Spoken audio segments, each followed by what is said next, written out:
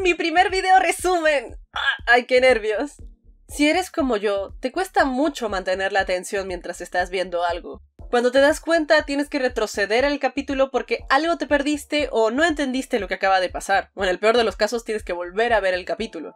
Record Ragnarok es uno de los pocos animes que me hicieron estar al borde del asiento capítulo a capítulo, y me hizo ir volando al manga para saber qué es lo que sigue después. Ver este anime es una experiencia que todos deberían experimentar en primera persona, pero si es que eres pobre, no quieres apoyar a pinche Netflix o simplemente no tienes tiempo para ver un anime de actualmente 22 capítulos, sin contar la pelea de Buda que está próximo a estrenarse, ni tienes ganas de leer, aquí estoy yo para hacerte un resumen del manga y anime de Shumatsu no Valkyrie o Recolor Ragnarok, para estar listos cuando se libere la segunda mitad de la segunda temporada.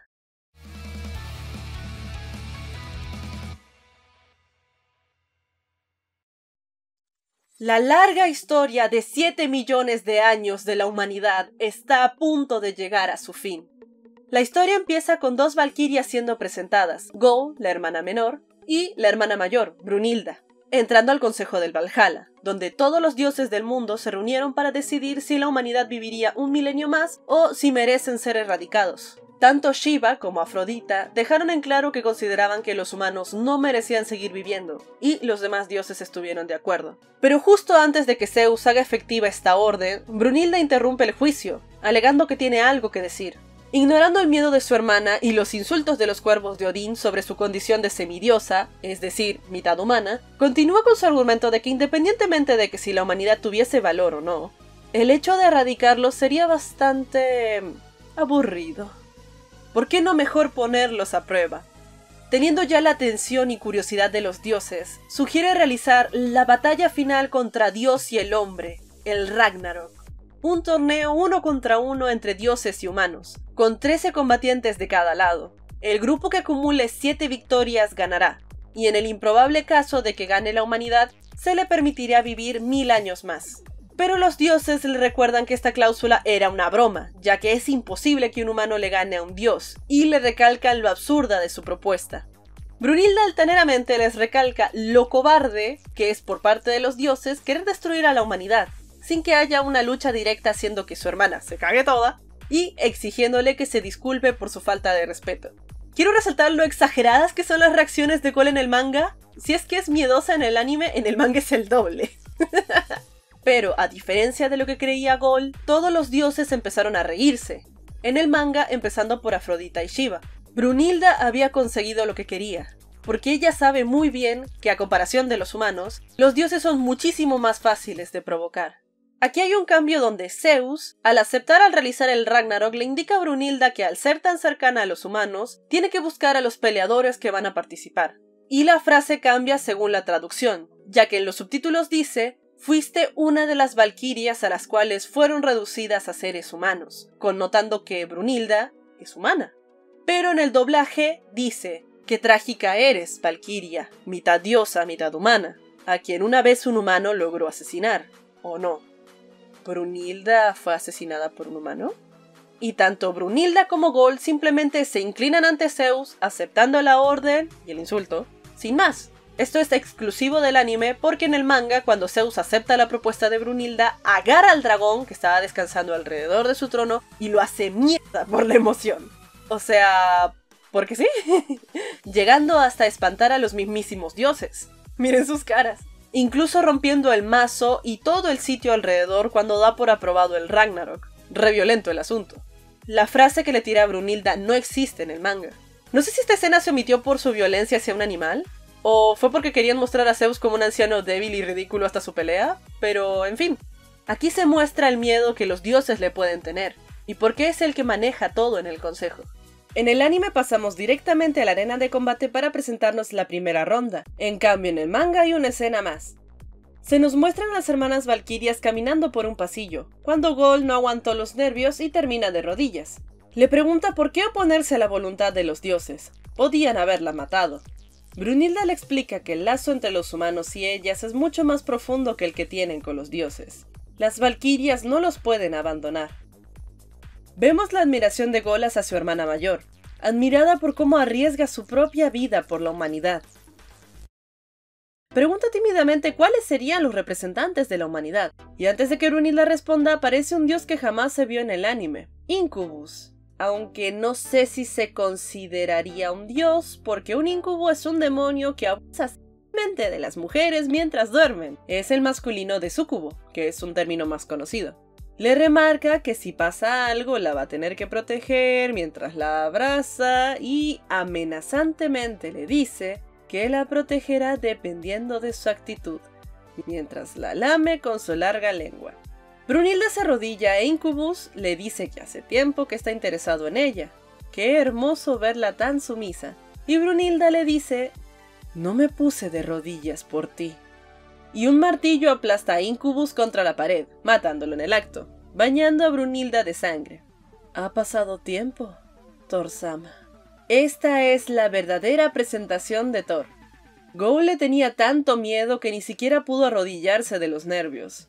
Brunilda, ¿qué tramas? le dijo el dios. se hizo la loca nomás. Y Thor se va amenazándola, claro, siempre.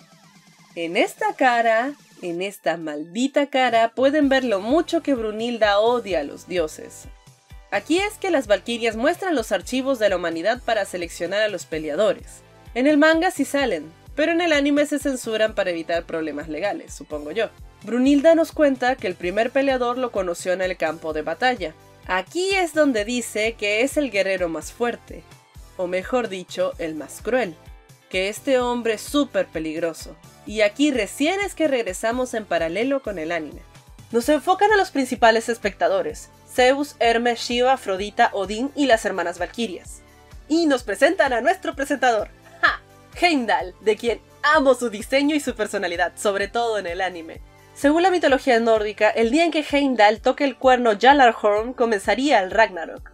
Indica que la única regla es que gana aquel que aniquile a su contrincante presenta a Thor como el primer contrincante por el lado de los dioses, remarcando la grandeza y el poder del dios del trueno, siendo el dios nórdico más poderoso. Y un poco de miedo de Cole. Por el lado de los humanos, la entrada es anunciada por un ejército hecho en CGI. Un caballo entra a la arena cargando a su jinete envuelto en tela, o en papel, la verdad no sé, liberándose de sus ataduras mostrando a Lubu, un general conocido por ser el héroe más fuerte de China, o, como dice Brunilda, el más cruel y demente de los guerreros que jamás vio en el campo de batalla. Créanme que no les miento cuando les digo que las presentaciones de este anime son arte puro. Esta escena termina el capítulo del manga donde un monje está rezando, y Brunilda lo detiene diciéndole que los enemigos a los que deben derrotar son a los dioses a quienes le rezan. Heimdall termina de presentar a los peleadores. Ambos contrincantes son presentados como los más fuertes en su campo, cada uno teniendo sus propios seguidores y fanáticos. Hay un detalle sutil que es más evidente en el anime, que la alabarda de Lubu, es decir, su arma, cae del cielo directo a sus manos. Regresamos con las hermanas, donde Gol expresa su temor de que Lubu no pueda dar la talla ante Thor-sama, a lo que Brunilda tan calmada responde que esta es la oportunidad perfecta para que los humanos se vengan, ya que los dioses no se esperan lo que va a pasar. La humanidad puede devolverles el golpe a los dioses que los han jodido. ¿Lo... los han jodido? Los han jodido. ¿Patear traseros? Patear traseros. Ah, a veces eres muy vulgar, hermana. Me parece muy tierna esta interacción entre hermanas. Es muy hermoso el detalle de la lágrima de Heimdall en la versión animada por la emoción de estar tocando por fin el cuerno del apocalipsis. Empieza la batalla y ambos contrincantes bajan sus armas para sorpresa de los espectadores. Ambos empezaron a acercarse al otro sin tener ningún tipo de miedo. En el anime alargan un poquito la escena con diálogos de los fanáticos. Ambos eran conocidos como el hombre más fuerte, así viven la vida. A pesar de ser tan diferentes, tenían algo en común. Han vencido a sus enemigos de un solo golpe, y con su primer ataque ambos pretendían aniquilar al otro. Lubu hace su primer ataque, el cual Thor detiene con su martillo. El narrador nos explica que esta es la primera vez en toda su vida que ambos se enfrentan a alguien que es capaz de resistir sus ataques. Todos indican lo igualadas que están sus fuerzas, menos Zeus, quien recalca que Thor no ha usado su verdadero poder todavía. Thor empezó a usar su poder de rayos, levantando a Mjolnir, su martillo con ambas manos, haciéndose para atrás para agarrar vuelo. Iba a usar el martillo de Thor. Y acá tenemos un flashback de cómo se originó dicho nombre. Hace mucho tiempo, bla bla bla bla. Esta serie tiene muchos flashbacks y todos están buenísimos, pero si los cuento todos a detalle no termino nunca. Resumo. Aquí nos cuenta cómo Asgard, la tierra de los dioses nórdicos, sufrió un ataque de un ejército de gigantes. No estaban preparados ya que los gigantes actuaban de forma independiente y, por su exceso de confianza, su experiencia en batalla y defensas fueron disminuyendo, y eso habían estado esperando los gigantes. Si no hubiera sido por Thor, Asgard habría sido destruido. De forma fácil pudo derrotar a los gigantes que nadie más pudo. Aniquiló el ejército de 66 gigantes él solo. Pero para Thor esto fue aburrido. El flashback está bastante fiel al manga, solo que aquí se nota que hicieron lo posible para ahorrar presupuesto. El resto de dioses le otorgaron un nombre a su técnica de muerte instantánea, el martillo de Thor, que original, que también realizó contra Lubu, quien no se movió ni un centímetro. Todos ya habían admitido la victoria de Thor, renegando lo corta que fue esta batalla. La misma Gol no soportaba el hecho que es imposible de que un hombre común pueda derrotar a un dios. Otra vez, comparé las expresiones entre la Gold del anime y de la Gold del manga. Me encanta. Pero Brunilda le dijo que levante la mirada. Y para sorpresa de todos, Lubu seguía vivo, devolviéndole el ataque a Thor, haciéndole un tajo en el pecho, sorprendiendo a todos. Ambos al mirarse sabían que, si hubieran nacido en el mismo lugar, en el mismo tiempo y fueran de la misma raza, podrían haberse vuelto rivales. Pasamos a otro flashback, pero esta vez mostrando la vida de Lubu. Nos remarca que no sabemos ni miércoles de la mayor parte de su vida, pero que desde niño era bien vergas, porque podía hacerle frente a animales salvajes desde muy joven. Y al parecer ya tenía liebre roja, su caballo. Durante años viajó y viajó para convertirse en la persona más fuerte, aniquilando cualquiera que se le cruzase, haciéndose famoso en todo el reino, consiguiendo bastantes sims, digo, seguidores. Y así, después de viajar por más de 30 años, se dio cuenta que no había nadie bajo los cielos que pudiera hacerle frente, y por la desesperación de que su fuerza era insuperable y el aburrimiento, se dejó atrapar y matar. Por eso, por fin, Lubo se sintió feliz al encontrar a la persona digna de ser su oponente. Aquí Zeus le comenta a Hermes que le llama la atención una cosa. Las armas humanas deberían romperse al ser golpeadas contra un arma divina, y este humano lo soporta de una manera imposible. Parece que se dio cuenta, dice Brunilda. La mueca que hace en el manga me parece aún más aterradora.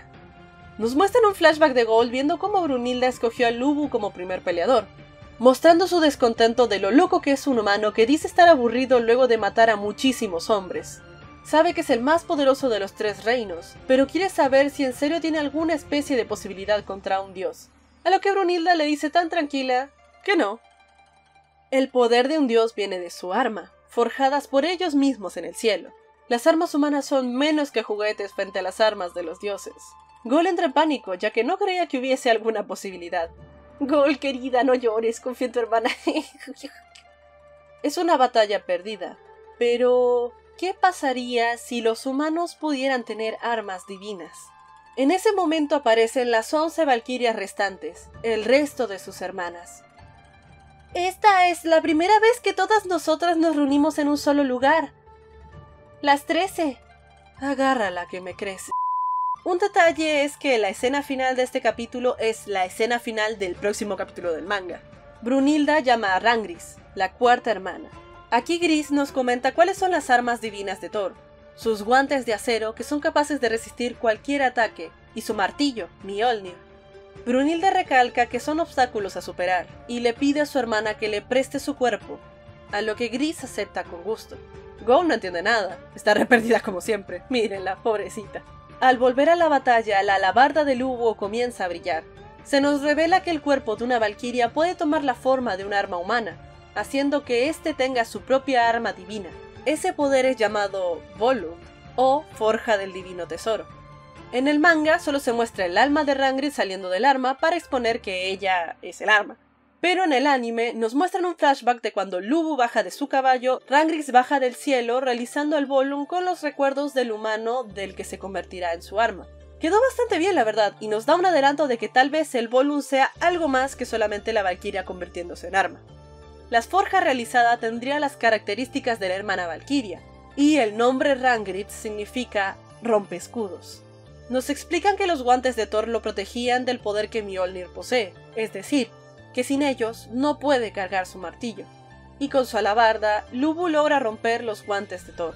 Todos estaban orgullosos. Todos los seguidores de Lubu junto con la humanidad empezaron a vitorear a Koro, porque fue la primera vez en toda su historia que habían superado a los dioses. Hermes nos explica con una conveniente muñeca que imagino que habrá encontrado por ahí, que el deber de una valquiria es guiar a las almas, descender a la tierra para saber quiénes son los mejores guerreros de la humanidad y así llevarlos al Valhalla, para prepararse para un posible ataque contra los cielos, y formaron un ejército para los dioses. Pero que último ha habido un rumor donde se dice que el objetivo real de las valquirias jamás fue formar un ejército, sino que las valquirias se identifican con los guerreros que llevan al cielo, y se transforman a sí mismas en armas para ellos. Ofrecen sus cuerpos para darles un poder similar a los dioses, llamado Volundr, y esto es lo que hacen para ayudar a los humanos en el Ragnarok. Igual todo esto ya lo sabíamos por la escena de Randritz. Zeus se muestra enfurecido. No esperaba jamás que las valquirias se levantarían en una rebelión contra los dioses. ¿Esto parece... excitarlo? Dice no haber tenido tal emoción desde el Big Bang. Maldita sea Zeus. La atención otra vez se dirige al campo de batalla, donde se ve como el martillo de Thor, Mjolnir, se está derritiendo.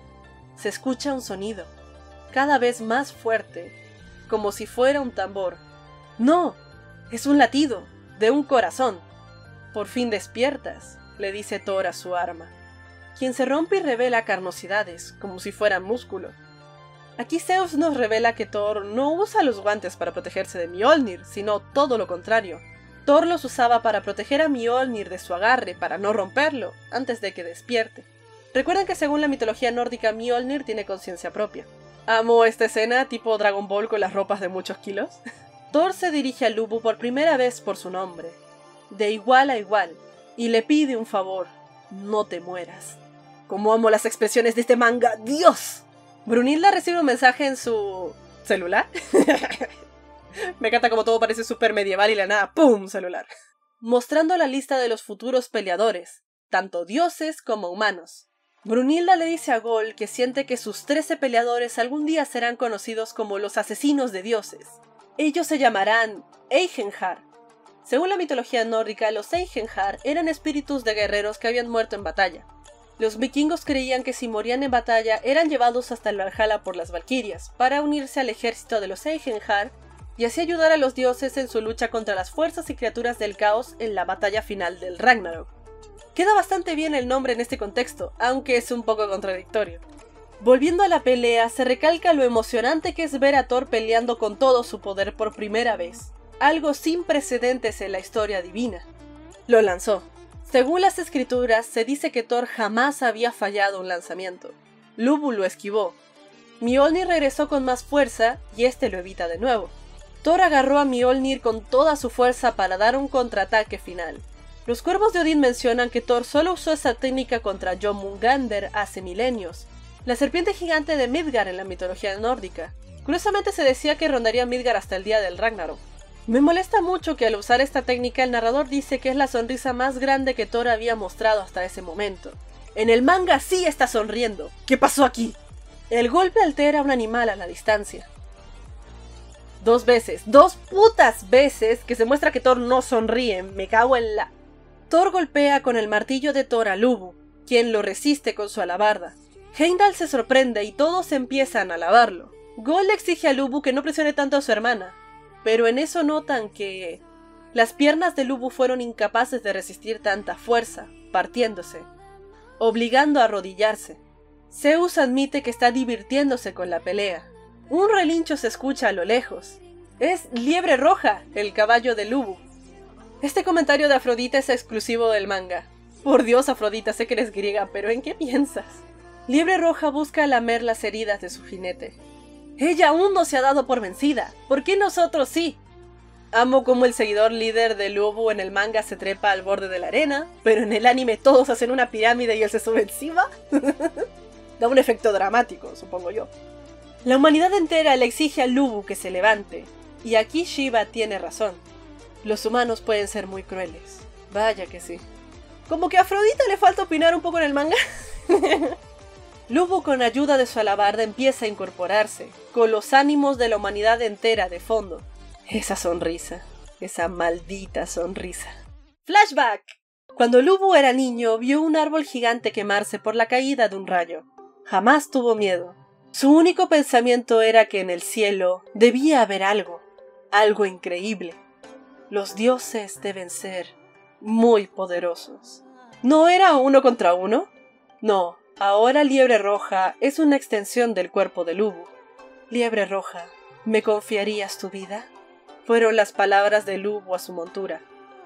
Ambos regresaron a la batalla. Corrieron alrededor de Thor. Lubu sostuvo la alabarda por la punta. ¡Flashback número 2! Aunque sabía que él era el más fuerte, siguió puliendo sus técnicas de combate. Siguió agitando su alabarda durante meses, incluso años. Sabía que algún día experimentaría el gozo de pelear contra alguien más fuerte que él. Y un día su alabarda, con su extraordinaria fuerza, partió el mismo cielo en dos. Lo llamó el devorador de cielos. A Thor le palpita el martillo. Es el devorador de cielos contra el martillo de Thor. Ambos se prepararon. Sabían que es la primera vez que podrían usar su poder más fuerte con toda su fuerza contra el oponente más fuerte. Un contrincante digno. Ambas fuerzas chocaron entre sí. Cuando la luz se disipó, se vio como la alabarda, es decir, la valquiria Rangritz, caía al piso, completamente lastimada. Lubu no soportó el ataque, perdiendo un brazo e incapacitándose el otro, que simplemente se le arrancó con sus afilados dientes. Es todo lo que pudo dar, fue todo lo que tenía. Hizo que Liebre Roja cabalgara directamente hacia Thor, aceptando su derrota. Mientras corría, supo lo que sentía. Por fin pudo enfrentarse a alguien más fuerte que él. En la muerte encontró su dicha. Esto es lo que se siente. Debe ser la verdadera felicidad. Y así Thor le cortó la cabeza a su amigo. Anotación, en el manga es más violento. La primera batalla oficialmente terminó. El ganador fue Thor, el dios del trueno. Los dioses están exaltados, Zeus sobre todo todos menos uno. Aprovecho para decir aquí cómo amo el diseño de Shiva en el manga y cómo el diálogo de Afrodita Horny es exclusivo del anime. Sus amigos alzaron sus manos en brindis por el general caído. Los dioses más engreídos siguieron aclamando superioridad. Brunilda simplemente se fue. Thor se notaba desganado, decepcionado. Cuando escuchó un relincho atrás suyo, Liebre Roja con lágrimas en los ojos miraba con odio a Thor. Sin Lubu, ni en la tierra, ni en el Valhalla, la vida no tiene sentido, ni para sus soldados, ni para su montura. Thor sonrió. Le hará un último favor y un regalo de despedida a su querido amigo. Gol a lo lejos sintió la explosión, pero no le dio importancia. Le pregunta a Brunilda qué pasará con Lubu y su hermana después de haber perdido. Nos muestran los cuerpos de todos, incluida a Rangritz, y Dios mío que se ve violento en el manga todos empiezan a resquebrajarse, convirtiéndose en pequeñas partículas. Un show hermoso de ver, pero con horrible significado. Cuando un alma se hace añicos, se convierte en polvo en el universo. Se vuelve la nada misma, sin capacidad de renacer. Eso significa ofrecer tu cuerpo y tu vida. Gol no puede procesar tanto. Le grita a Nilda que debería estar triste, ¿Cómo puede estar tan tranquila? Se acaba de morir su querida hermana. ¿Cómo podemos estar tristes? No podemos salvar a la humanidad si estamos tristes. Hay que prepararse para el futuro. En vez de llorar, tienen que decidir a quién utilizar para la siguiente ronda. Ni siquiera el hombre más fuerte pudo vencer a un dios. Entonces, ¿quién podría hacerlo? dice Go. Brunilda, viendo los archivos de la humanidad, dice: Hmm, lo escojamos a él. Es el hombre que más odia a los dioses, más que a cualquier otra cosa. Gol se sorprende y dice, ¿cómo puede ser? No, es el archivo número uno. Y así termina la primera ronda de la batalla de Dios contra el hombre, Ragnarok. La humanidad está un paso más cerca de su extinción. La verdad es que esta primera ronda fue bastante potente. Muchas gracias a todos por llegar hasta aquí. Los creadores hicieron bastante bien al empezar con un dios tan mainstream como lo es Thor. De hecho, Thor ha sido un personaje súper conocido desde hace décadas. Me atrevo a decir que si dicen mitología nórdica, más que pensar en Odín o en Loki, muchos pensarán primero en Thor. Así que supieron enganchar a la mayoría de lectores metiéndolo en la escena que eliminaron en el anime. Por otro lado, opino que hicieron bien en no meter a un hermano tan conocido. De hecho, de Lubu no se sabe casi nada, ya que vivió por los años 1070 aproximadamente. No es una persona del que haya mucho registro. Los pocos que hay establecen que sí fue una persona tan fuerte que pudo enfrentarse a 500 personas él solo. Pero para mí es una exageración del historiador, pero hey, estoy segura de que fue bastante fuerte, lo suficiente para que exista un registro en primer lugar. El trabajo de doblaje de este anime es excelente. Hasta a mí personalmente me llegó a gustar más que las voces originales. Un dato curioso es que el actor de voz de Thor es Andrés Gutiérrez Coto, mismo quien le da voz a Thor del universo cinematográfico de Marvel.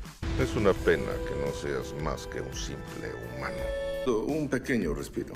Tuvimos una gran aventura salvando la Tierra. También algo que me llegué a preguntar era qué significaba que Lubu sea el más fuerte de los tres reinos.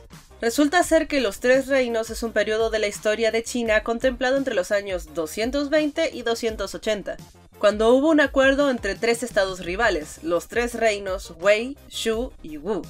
Postdata, por si no sabían qué es una alabarda, es esto. Es un arma ofensiva compuesta por un asta de madera de 2 metros aproximadamente de largo y que tiene una cuchilla transversal, aguda por un lado y con forma de media luna por el otro. Es una lanza, pero con otro tipo de técnica. No sé si notaron, pero el diseño del Lubu parece una cucaracha. Me preguntaba si así lo veían los dioses al ver que no se moría después de varios ataques de Thor. En fin, les doy gracias por ver hasta el final mi video. Esperemos que el próximo de la ronda 2 salga pronto y que pueda completarlo antes de que salga la segunda mitad de la temporada. Soy Ñamgel y pueden seguirme a mí y al artista de mi avatar en Twitter y nos estaremos viendo en el próximo video. Adiós.